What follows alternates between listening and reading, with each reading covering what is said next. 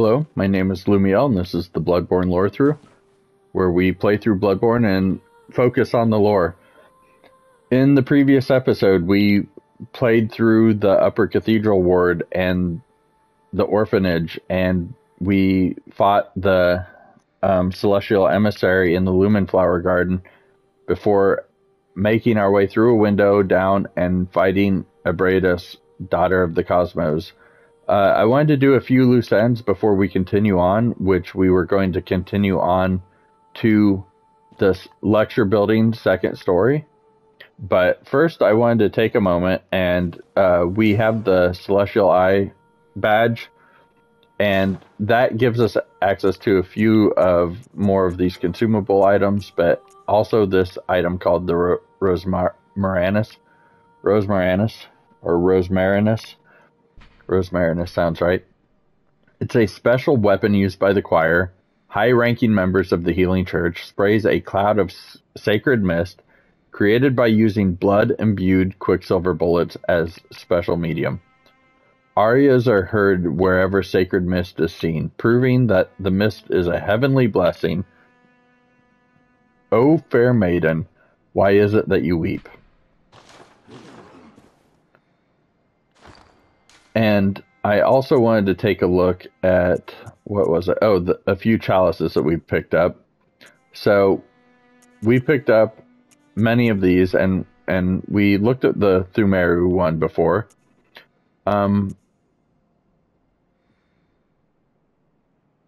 the uh, really we know that the old labyrinth was carved by the Thumerians, superhuman beings that are said to have unlocked the wisdom of Eldritch truth.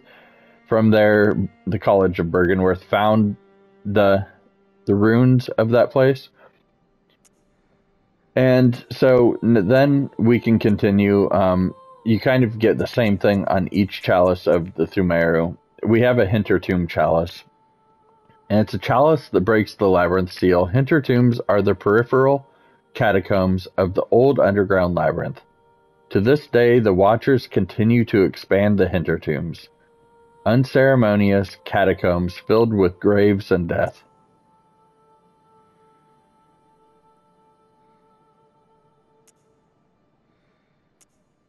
And then we have Ailing Loran Chalice, which we've found the Loran Silver Beast in the Nightmare Frontier. A chalice that breaks the labyrinth seal. Loran is a tragic land that was devoured by the sands. The tragedy that struck this alien land of Loran is said to have its roots in the scourge of the beast. Some have made the dreaded extrapolation that Yharnam may be next. Yharnam's not in good shape, but apparently Ailing Loran was completely wiped out. Now we have the Great Isz Challenge. chalice. A chalice that breaks a labyrinth seal. Great chalices unlock deeper reaches of the labyrinth. The Great Isz Challenge, or Isz Chalice, became the cornerstone of the choir, the elite delegation of the Healing Church. It was also the first great chalice brought back to the surface since the time of Byrgenwerth and allowed the choir to have audience with Ebrietas.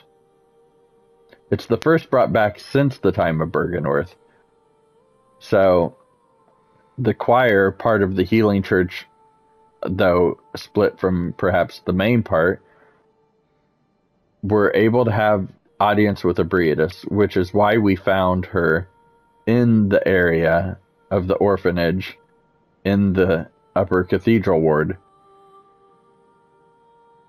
Byrgenwerth surely would have given a lot to be able to have audience with Ebrietas as well. So we are going to go to Castle Cainhurst,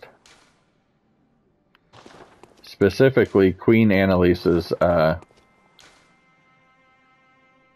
must be this one. Queen Annalise's. Uh, wow. Okay, I'm having reading problems apparently. Vile Blood Queen's Chamber. Okay, I was missing it because I was looking for a word starting with C, not Forsaken. So, we're heading to her chamber, which is in a poor state well, it would have been. We have since turned back time for her, and we want to check in on her. The reason we're doing these in this episode is because the lecture building should be a fairly short area, and then it will take us to a new area, and that's where we will just stop. Closest of kin, bearer of our blood, I welcome thee. What is thy wish? So she doesn't really offer any new dialogue or too much she she does recognize us as being closer to her than anyone. But I was hoping that her helmet would we be gone. thy return for the honor of Cainhurst. Because she's essentially trapped in there, and I was hoping that her destruction and restoration would have freed her from that.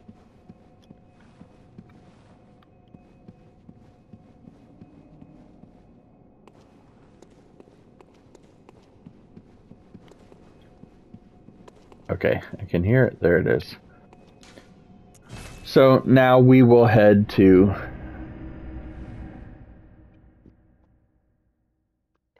we will return to the lecture building second story. That should be this nightmare one since it is trapped in the nightmare. We've gone through the entire bottom area, not that there was much to it, but now we're going to the second floor.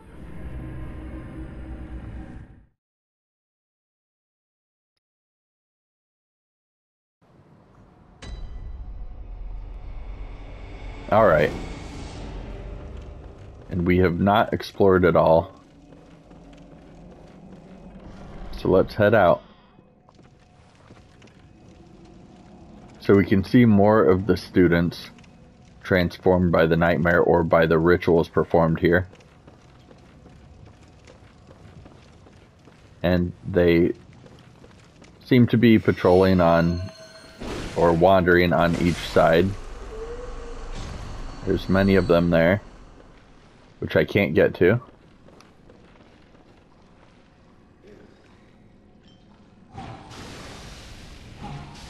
So they have their uh, beakers that they throw this stuff at us. And then they'll drink them and spew the stuff too.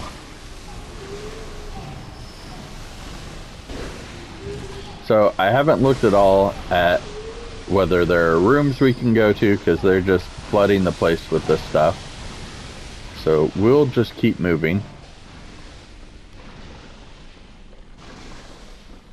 Okay, there's a church giant over there.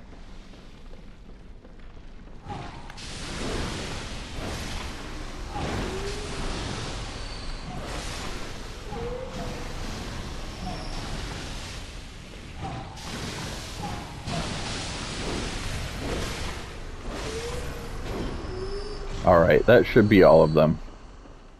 Nope. There's one chasing me down.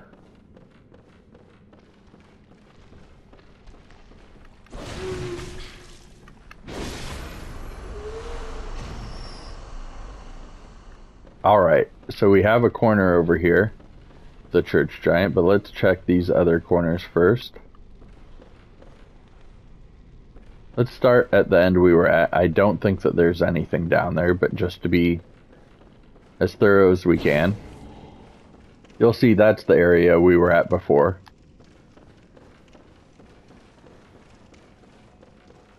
So we came in through here. There's a door over here.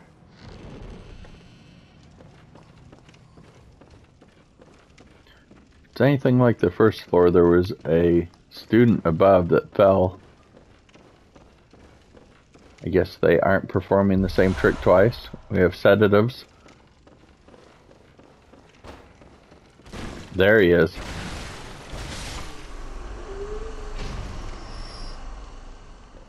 They knew you were going to suspect the same trick, so they tweaked it a bit. Alright. So we can't continue on that side.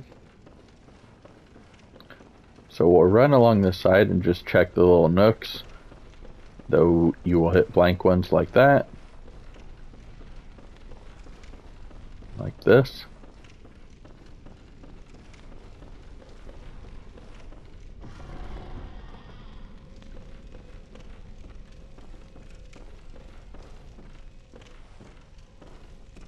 And we have a note here.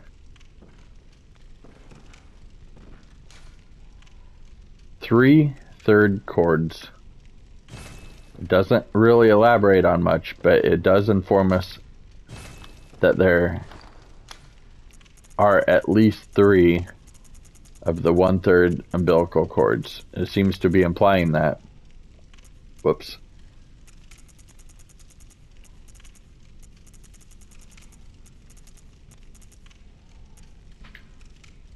So these are the also known as the cord of the eye. Every infant great one has the precursor to the umbilical cord. Every great one loses its child and then yearns for a surrogate. The third umbilical cord precipitated the encounter with the pale moon, which beckoned the hunters and conceived the hunter's dream.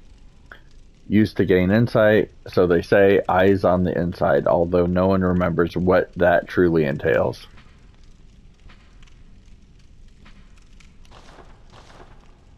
And so that seems to be what it is referencing.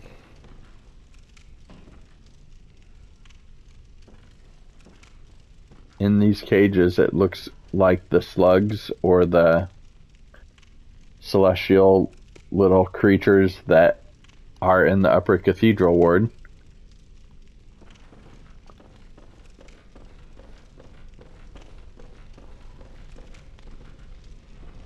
And bit of a variation on his hands appear to be on fire. Alright, so let's go check on him.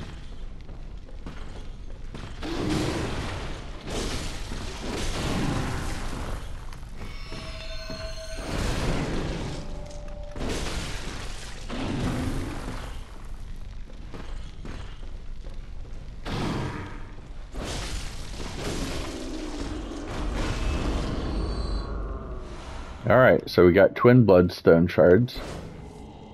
And we have a ladder here in the corner. But before we head down, let's just check everywhere. We've got a view of the classroom that we've been in before.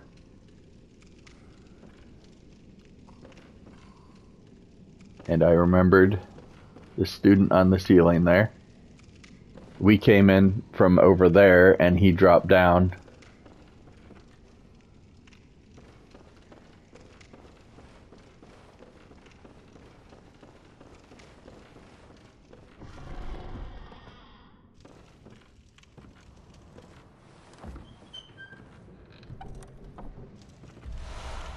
And here we have another communion room. And that was it in that room, right? Yeah. So it's a larger room, but, or actually it's leading out into the hallway, but it is just blocking our path. And one of the few where it would be a visible note, but we can't read that one.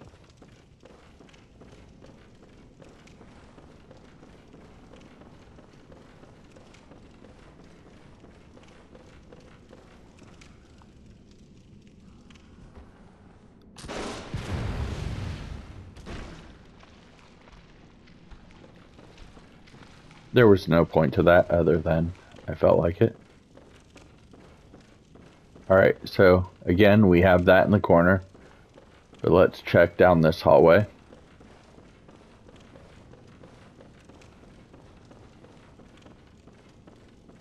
And we hit a dead end over here.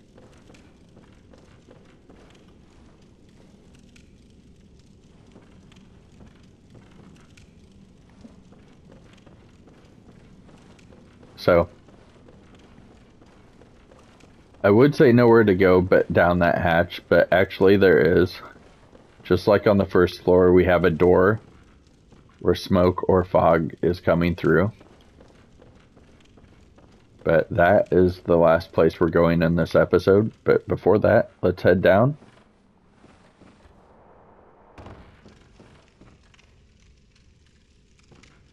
An ornate rocking chair.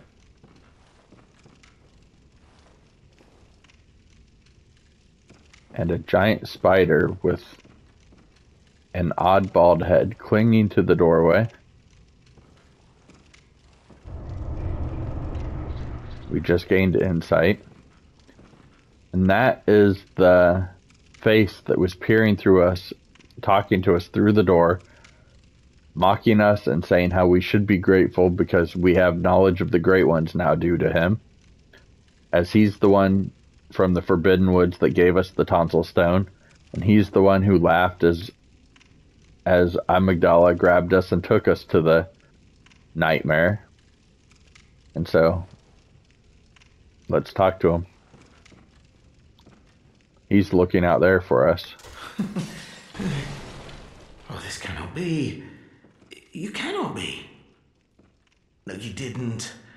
Lord Amygdala? Oh, how did this come to pass?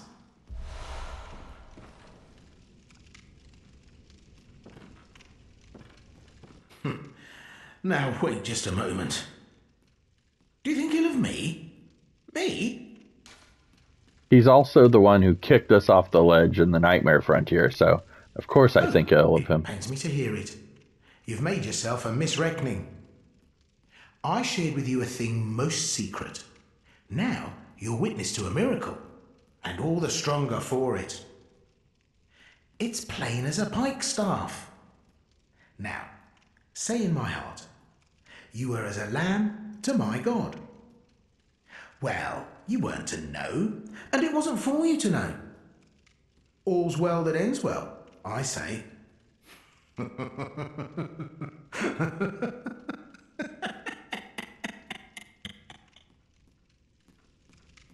this is Patches the Spider. Patches is a trickster in all of the FromSoft Souls games and he just talked about us being witness to a miracle, which we may remember the note in the Nightmare Frontier. It said this way to witness a miracle, and when you went, he kicked you down into a pit. No matter. Such details are trifling. We're fast friends by now. Let this express what words cannot. Oh, doubt me not, sweet compeer. What is friendship? but a chance encounter.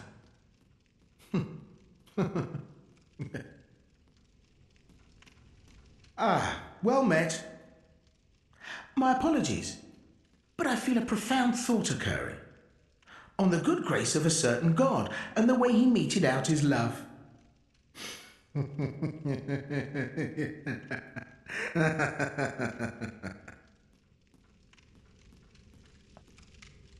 He has a certain thought occurring on the good grace of a certain God and the way he meted out his love. Ah, well, my apologies. On the good grace of a certain God and the way he meted out his love. Don't know what exactly that's in reference to. We can open this door though if we ever should come from the first floor of the lecture hall, at least lecture building, at least this way we could get into here quickly.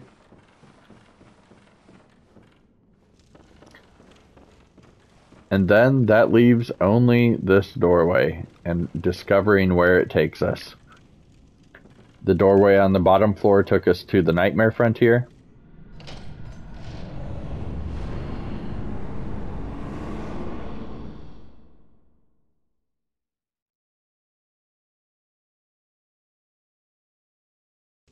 This one takes us to the Nightmare of Mensis. Look at the rock structure here.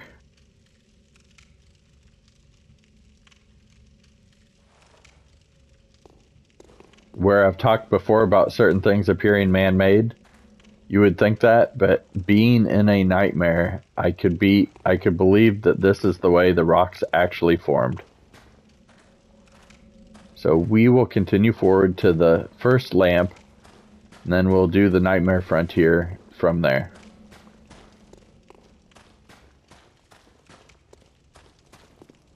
Actually, no, there's a little ways to that.